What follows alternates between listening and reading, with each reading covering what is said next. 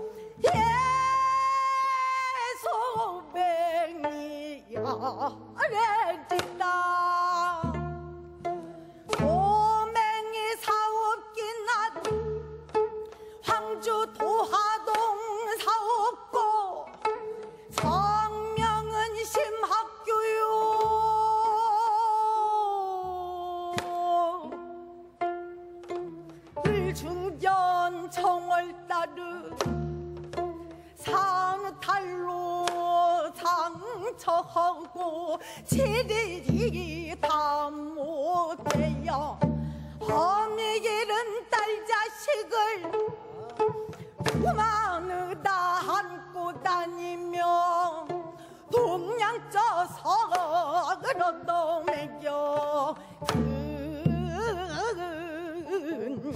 근근히 살아갈지. 하루 난중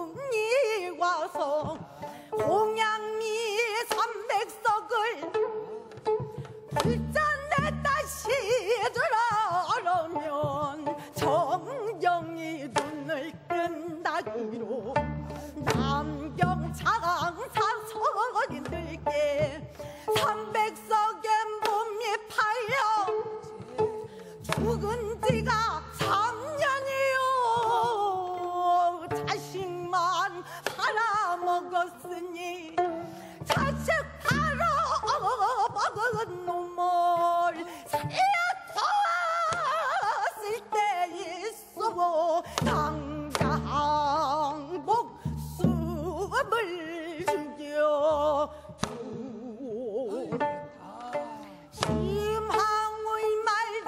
버산 호주람을 딸 차버리고 버산달로 우르르르르르르 흐르르르 달려들어 부친의 목을 안고.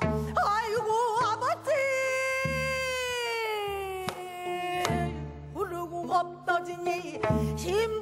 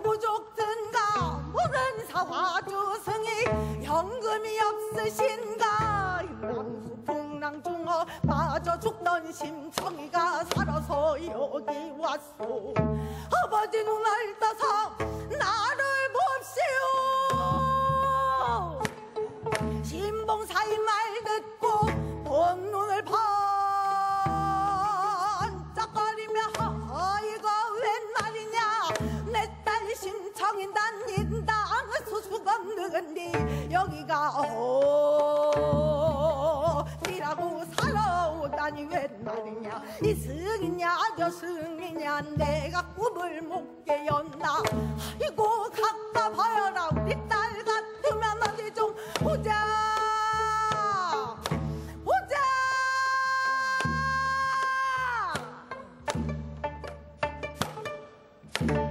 지금 허겁 눈을 번쩍 뜨고 보니 갑자 4월 초파일야. 꿈속에서 보던 얼굴 분명한 내 딸이로구나.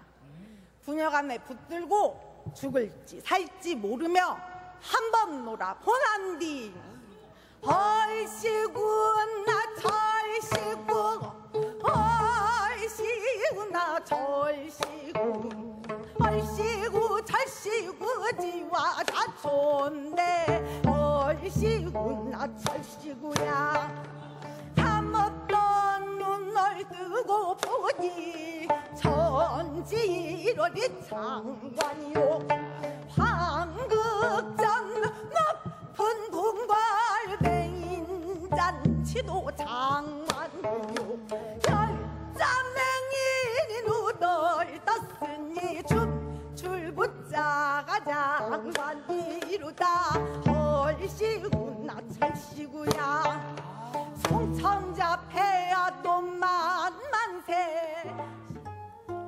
우리 국악기 중 애간장을 긁는 통안의 소리라고 표현하는 악기가 있습니다.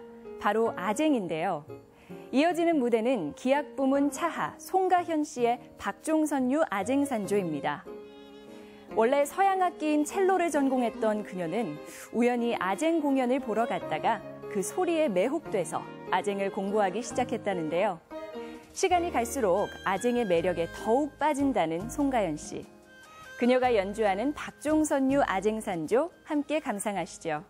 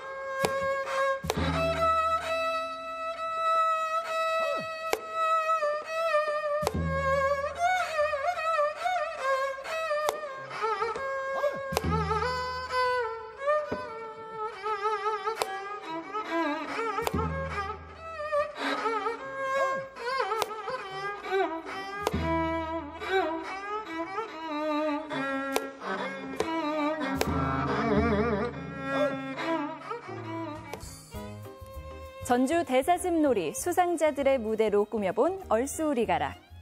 마지막 무대는 무용 부문 차하를 수상한 박성진 씨의 임해방류 살풀이 춤입니다.